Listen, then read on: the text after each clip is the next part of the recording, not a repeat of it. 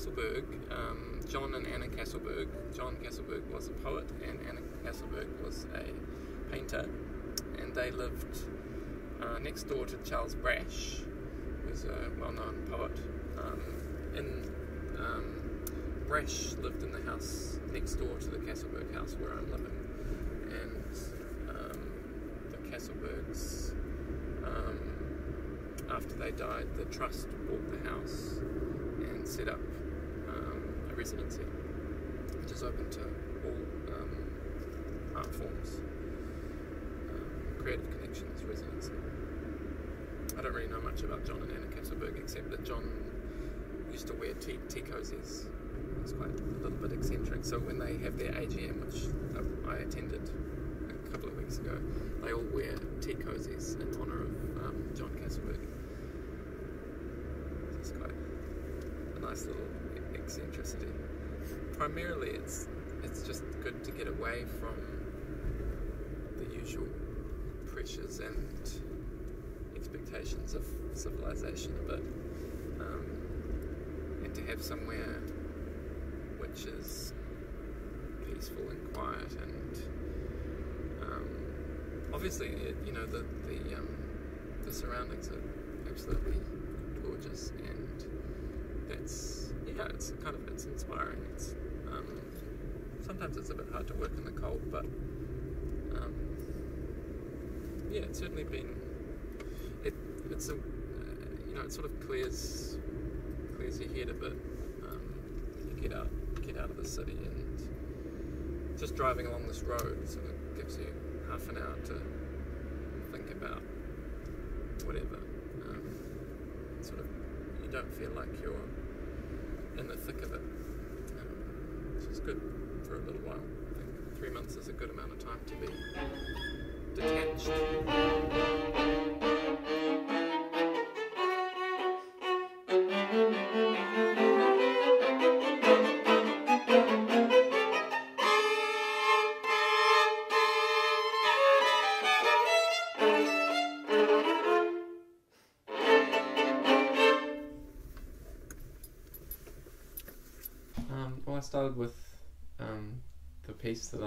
Was um, writing currently, um, and I paired that with the Watson solo sonata.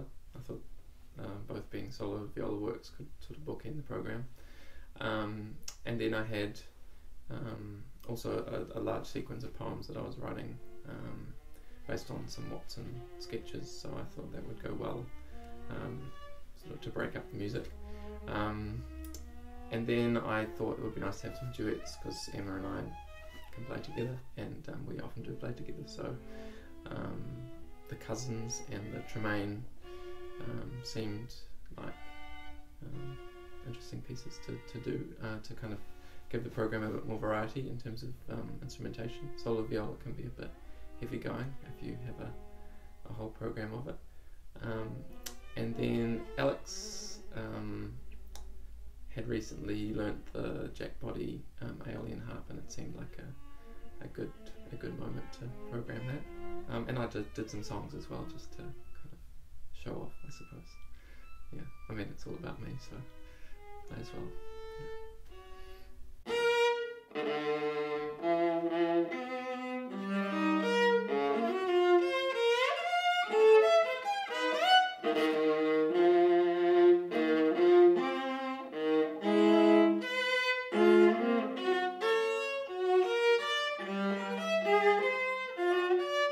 First piece on the program is the Watson uh, Solo Sonata, which Alex performed, um, written in 1969, and I actually got the score for Alex as a Christmas present maybe five or six years ago, um, and he's performed it a number number of times um, since then. And we were lucky to have um, Cynthia Greensill um, Watson's widow, and also his first wife, Helen Watson, and his cousin in the audience. So it was um, a big Watson presence at the concert, which was great. Um, the Watson is a very um, intense work, um, and it's, it's, a work that I'm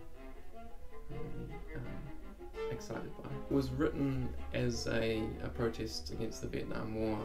Um, Watson was uh, strongly left wing, I guess, communist, um, and he, yeah, uh, many a number of his pieces had had messages of protest or pacifism.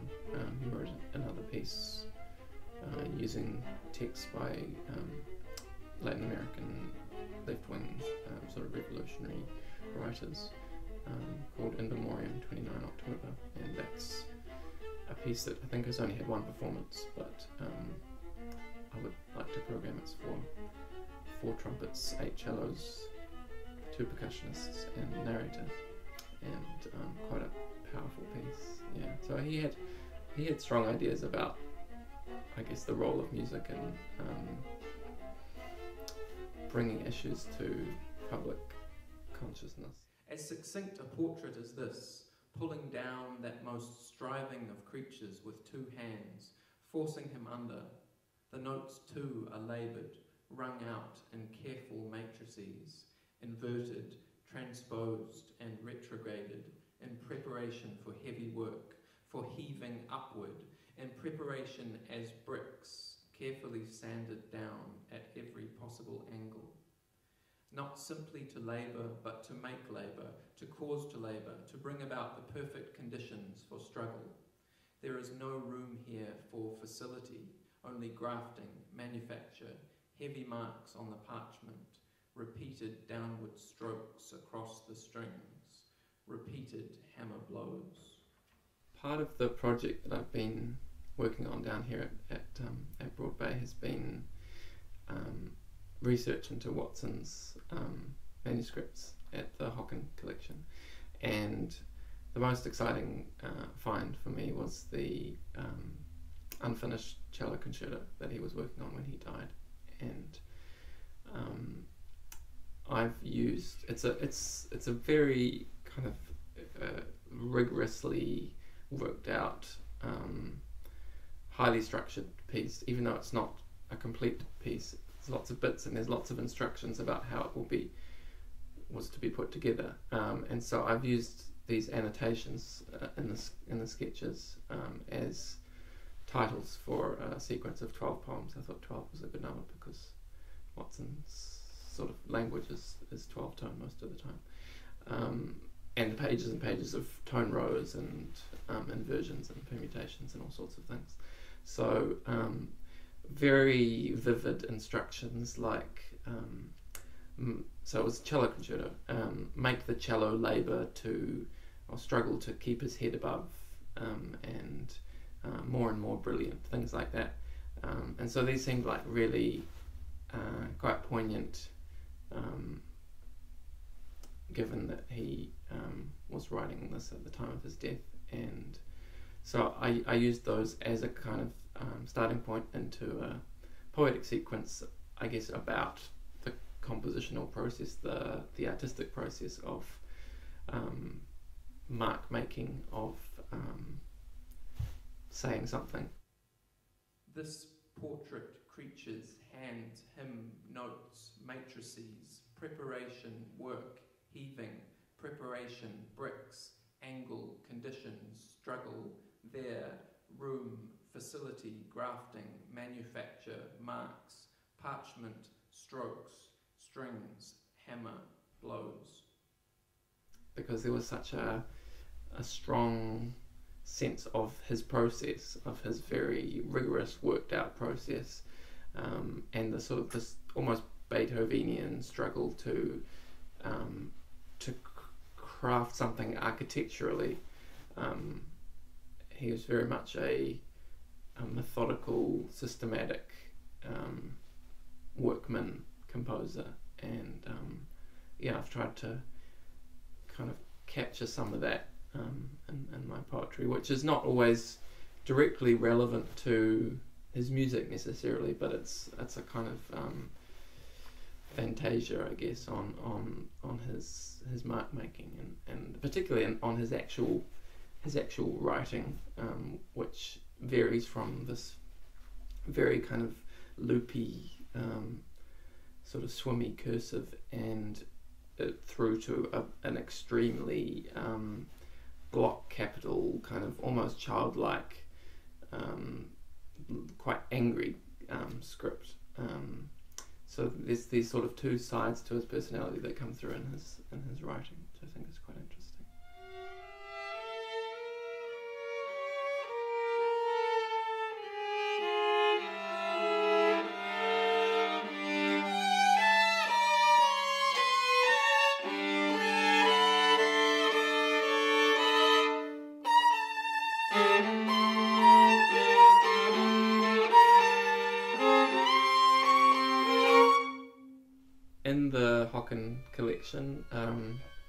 there are a number of Watson pieces that haven't been uh, put into the SOUNZ library, and some that possibly haven't been performed either. Um, and one that was new to me and also new to um, Cynthia Greensill was um, a little fragment which uh, appeared to be for two violins, um, two treble clef staves um, and open strings that looked like uh, violin music. Um, and it was a, basically a complete duet, a complete page of music, about one and a half minutes of music. Um, and it looked like a sort of similar idiom to the Bartok duets, the 44 Bartok duets, which are kind of standard fare for violinists. Um, and at the top of the page, in big block capitals, says this is not Bartok, it's not me either. And I thought that was really uh, a, a, bit of an insight into his kind of relationship with Bartok, and, and I guess that, that was almost a moment of him channeling the spirit of Bartok um, and feeling like he wasn't actually writing his own music, but um, he was writing something new, but it wasn't yet his own voice, perhaps. So I think you can hear him in it, but also Bartok. But whether whether he would want that to be one of his works or not, it was just an interesting little little sketch. There's also an arrangement of Bartok's Concerto for Orchestra in the in the the, the sketches. Um, although whether it's it's sort of in short score and whether it's an actual arrangement or whether it's just his kind of picking out of particular interesting parts in the orchestration. I'm not sure, but he certainly studied it and um, you know wrote out the whole score basically by hand. There's also sketches for a um, ballet based on Kafka's The Trial, and um, a couple of other sketches of unfinished works, which are nothing like the cello concerto, nothing, nothing as substantial as that. But um, yeah, it's just yeah, it's interesting to see the type of the type of works that he w- could have possibly written had he um, lived a little bit longer. Yeah.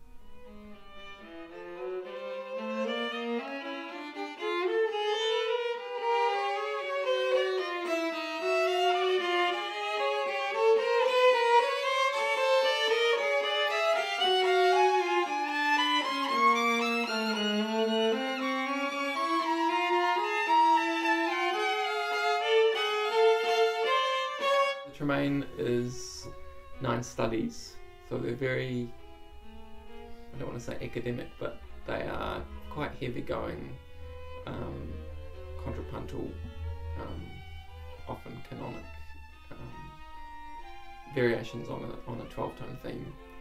Um, and we didn't perform the whole piece. It's quite a, it's quite a lengthy. It'll probably be about 20 minutes if we did the whole thing.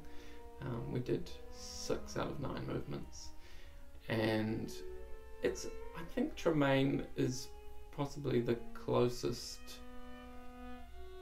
of of earlier generations of composers to what Watson was doing um, in terms of the the harmonic language that he used and also the interesting counterpoint and um, it's it's possibly not as maybe as um, kind of directly visceral as, as Watson is, but um, certainly mm, it seemed like they seemed to have a, a, a, sort of connection, which you you couldn't say about Lilburn's music or um, Jenny McLeod's music or John his music. I don't know. Um, it, yeah, that they seem like possibly um, they would they were working out similar similar things, and uh, sort of um, looking towards Europe for um, you know what was what was happening at the time, and um, but these are from 1959, so you know it was at the time at the height of the the European avant-garde, and um, yeah, they're, they're not pushing. If they were in Europe, they wouldn't be pushing any boundaries. But in terms of New Zealand's practice at that time, I think they're pretty they're pretty forward-looking pieces, um, and and they're they're really um, really good to play and really um, I think quite quite meaty quite meaty, meaty repertoire.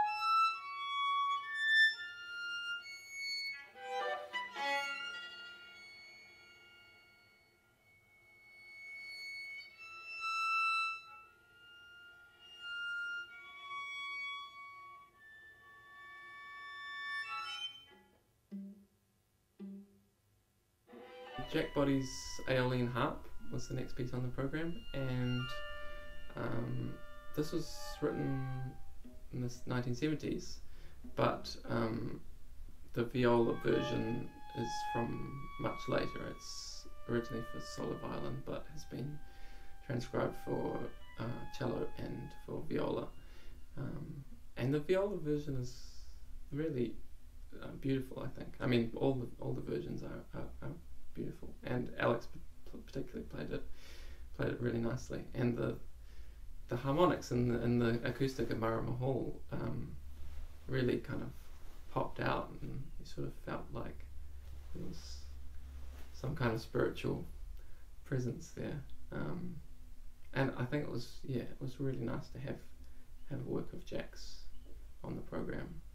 It it seems particularly kind of suited to to Jack's aesthetic, that sort of um, bright, light, um, airy, um, kind of um, Libran um, aesthetic.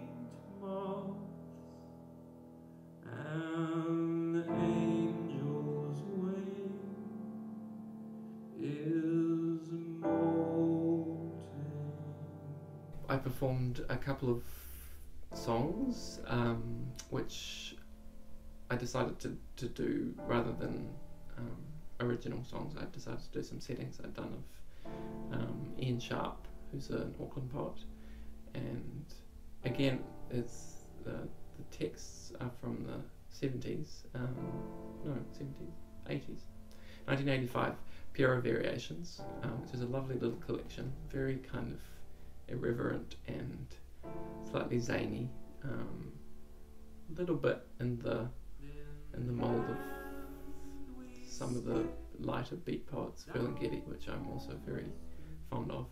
Um, so Iain gave me permission to set some of his poems, and I, I um, sang two of them at the concert. One is The Desperados, and the other is Watching the Motorway by Moonlight. And I've just sort of treated them very simply, kind of uh,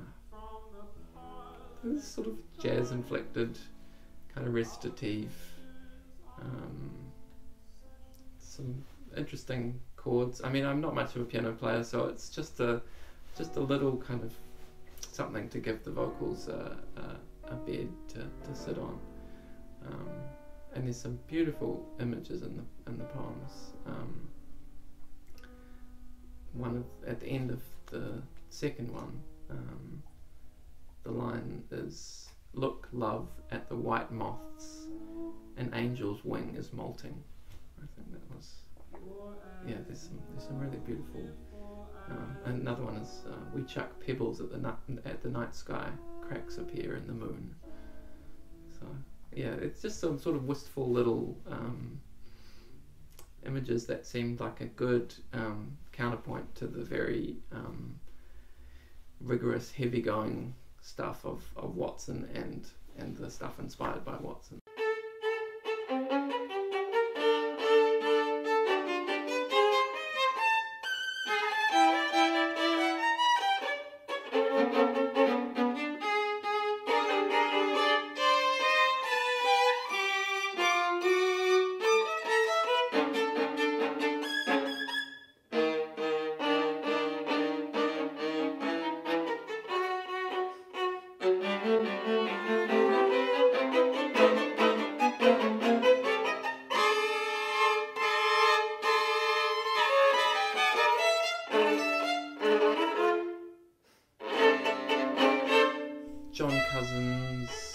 Three Little Duets was the next piece on the program, and that um, I think has been recently performed at the Nelson uh, Chamber Music Festival. So it's a very early work of Cousins, and obviously before he gave up on instrumental music and um, devoted himself entirely to uh, electronic and installation works and sonic arts. Um, but I think it's it's a very well crafted little um, triptych, and um, they were they were a lot of fun to play those. Yeah, quite tri- quite tricky. The, the movement's quite tricky.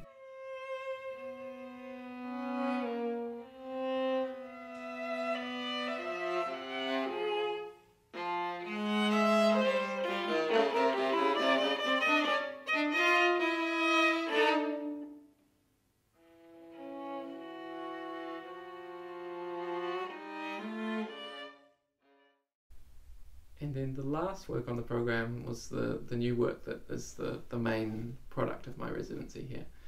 Um, it's called An Autumn Cutting, and the title comes from the fact, well, it's, it's kind of obvious really, but it comes from the fact that I've taken um, a fragment of, of Watson's music um, from the third string quartet um, and sort of grown it and germinated it into a a longer form um, piece. The, the, the, the fragment that I've taken is from the, the central part of the third quartet, which is very kind of introspective and um, very tonal, um, very lyrical, uh, and really quite a different world to 90% of the rest of the piece and much of his other music.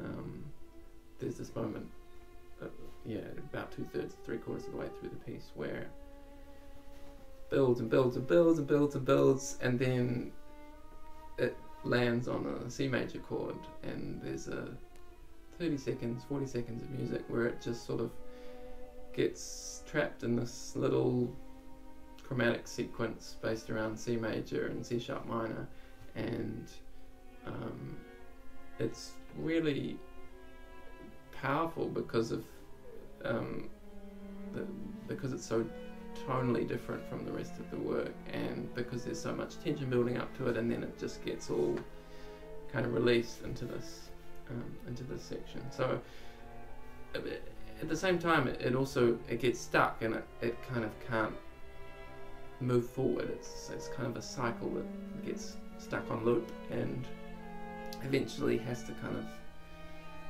go back to the, the other language of, of struggle and you know whatever else he was working out.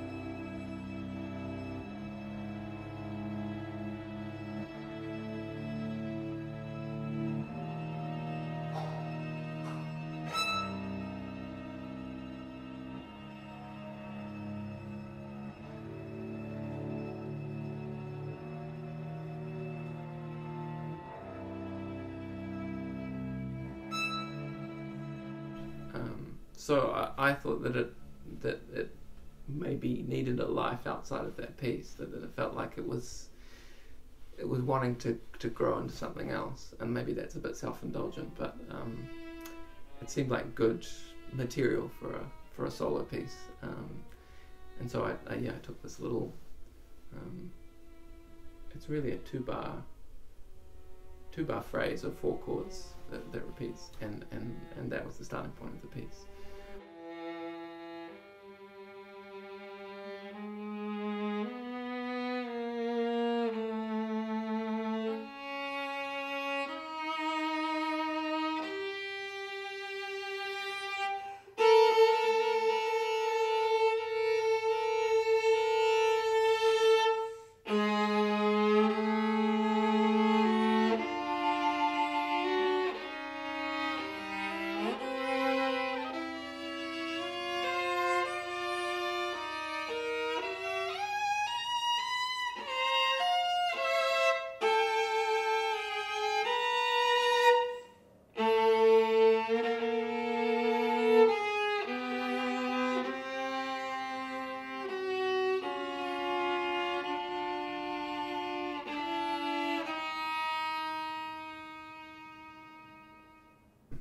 It's a quite a long piece, probably.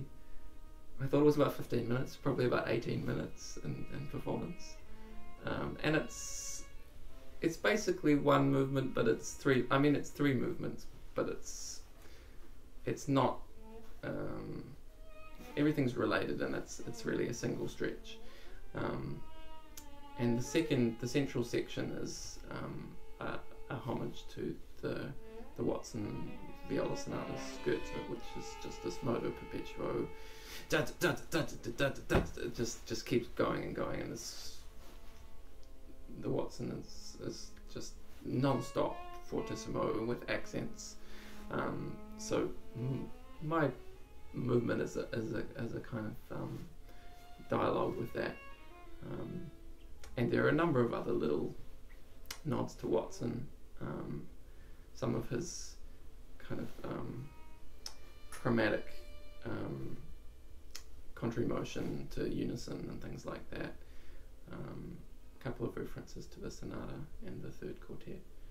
Um, but basically, it, it, it starts with that kind of that unexpected tonal chromatic language and sort of lets it open out into um, a language based on harmonic series and introduces um, harmonic notes, um, seventh and ninth and eleventh and thirteenth harmonics, and so you start to get quarter tones and, and microtonal tunings, and um, and eventually it, it starts to kind of just become this almost vertical um, language. The, the line sort of dissipates, and there's this big long tail at the end of the piece and you're, yeah, you're sort of just left with a, a big sort of resonance of the C and G strings and some sort of ethereal harmonics.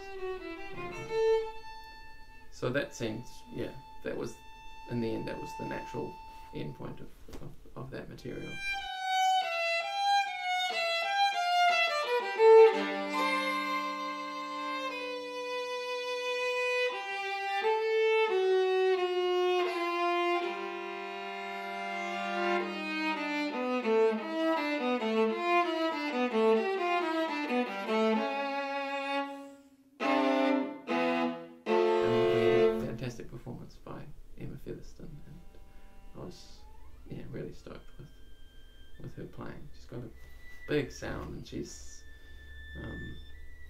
Incredibly um, composed. Her performance is so um, controlled and, but at the same time, very expressive and very um, emotionally sensitive. I think, and, and that work really, really needed that. So I was really happy.